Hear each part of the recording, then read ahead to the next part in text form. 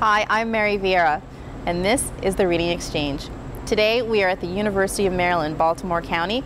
We're having a conversation with Dr. George Derek Musgrove, history professor here, and also the author of Rumor of Repression and Racial Politics.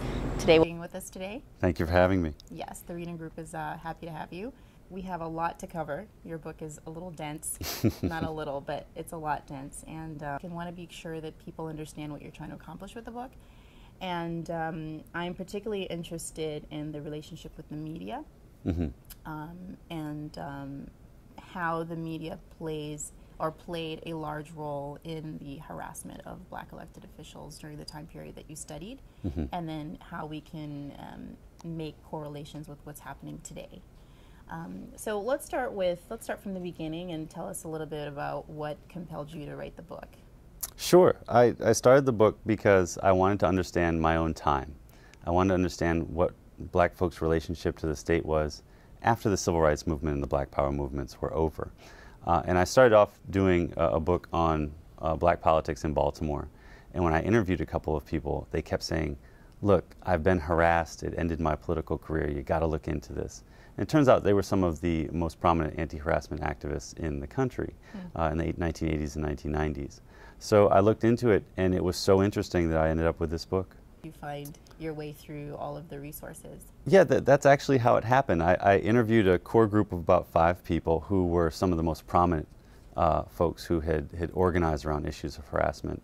And then I said, at the end of the, every single interview, who would you recommend that I go speak to? And they'd give me a list, and I'd interview those few folks and say, who would you recommend I go speak to? And they'd give me a list.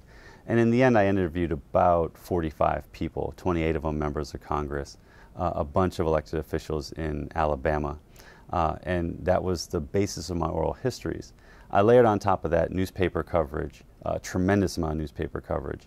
And then on top of that, uh, congressional reports and FBI reports, uh, which were much harder to get, but they were well worth the wait. The book really does justice to the research that you've done. Um, tell me about the term harassment and you know how you guys were na- able to nail down this harassment ideology and, and, and put it all together. Sure. The, the term harassment is really a catch all term that black elected officials used from roughly the mid 1970s all the way up through the mid 1990s. And so it was handed to me, it wasn't a term that I created. Uh, I use the term harassment ideology to explain how I'm using it in the book. Uh, black elected officials, when they say the word harassment, they are making the case that the government is out to get them. Uh, and so sometimes that's true. In fact, much of the time that's true, uh, but not always. And so sometimes a black elected official is say, saying, I'm being harassed, and they're not. They're, they're essentially trying to cover for something that they had done wrong. Mm. Uh, so in order to communicate that to the reader, I use the term harassment ideology. Mm. And it's the idea that black elected officials create and try to spread to the general population that the government is out to get black leadership mm. and that they at that moment are being targeted. Mm-hmm. This victim mentality, it, it works both ways. It, it's a double-edged sword. You feel like you know you're the victim, and then you, you use it to your advantage when it's appropriate. Precisely. I mean, you know, the black population, which had, you know, been raised on ideas of the Ku Klux Klan, COINTELPRO through the FBI, Martin Luther King being targeted by J. Edgar Hoover. When black elected officials say, I'm being targeted by the government, that resonates.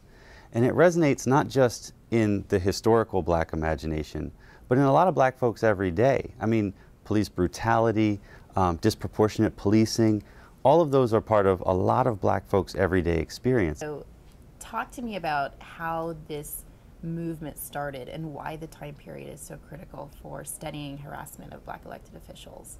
Um, Sure. No, it's an excellent question. Um, the first instances that I record in the book of black elected officials claiming that the government is out to get them are in 1966 and 1967. The ones in 66 are made by Julian Bond, who uh, just elected to the Georgia State Legislature.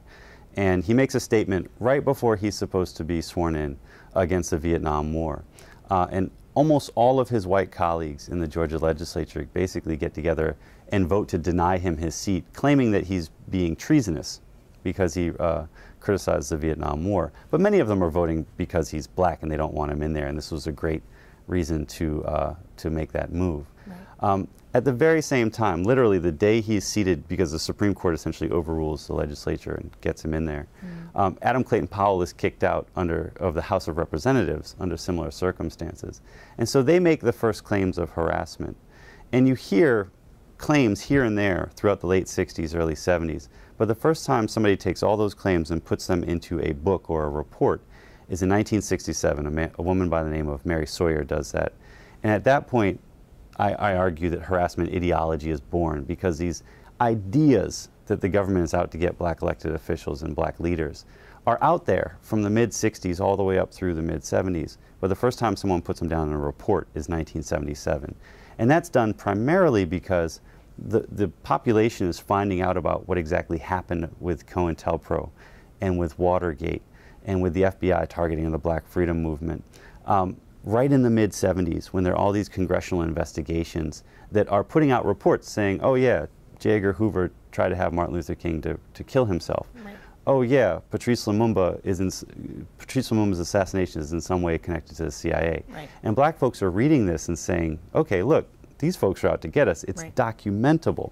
And buried in those reports are similar moves against black elected officials by the intelligence community, by the police black folks see that and all of a sudden they can document an idea that they've had for a long time.